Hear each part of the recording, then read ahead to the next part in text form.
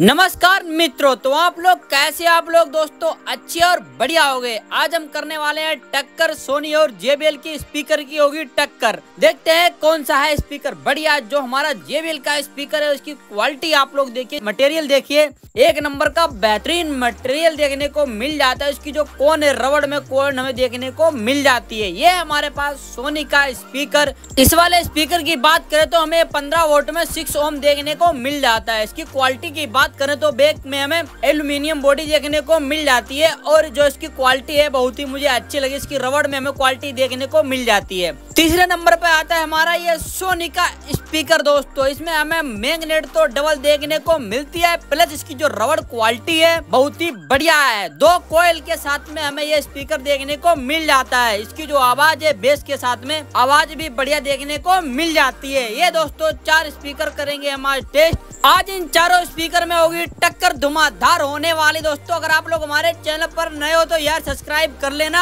आपको कौन सा स्पीकर पसंद आया, कमेंट बॉक्स में दोस्तों पिन ज़रूर कर देना। ये हमारे पास है एक amplifier I O T fifteen fifty ये इसमें लगी हुई है आई सी इकतीस सोलह डी टू की आई सी देखने को मिल जाती है इसमें। बेस्ट टेबल भी हमें देखने को मिल जाते हैं। इसमें अलग से हमें अठहत्तर ज़ीरो पाँच लगाने की ज़रूरत नहीं है। हमें इसी में देखने को मिल जाता है एम्पलीफायर के लिए सप्लाई। ये हमने लगा लिया बीटी कार्ड के कनेक्टर और करेंगे इनकी आज को बेस को टेस्ट। ये रहे हमारे पास अनलिमिटेड पैसिव रेडिएटर, जो कि बहुत ही बढ़िया क्वालिटी में देखने को मिल जाएँगे। ज़्यादा लंबी वीडियो ना हो, अब कर लेते हैं स्पीकर की बेस को टेस्ट। दोस्तों, लास्ट तक वीडियो देखना, आपको पता चल जाएगा किसमें है ज़्यादा दम।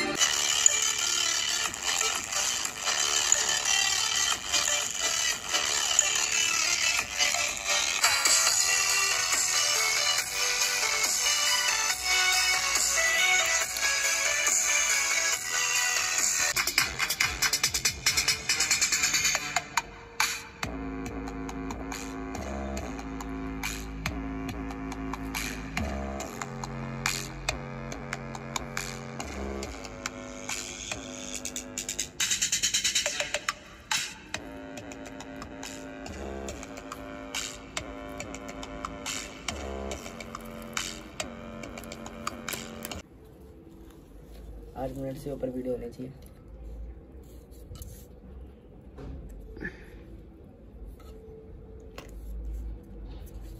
Thank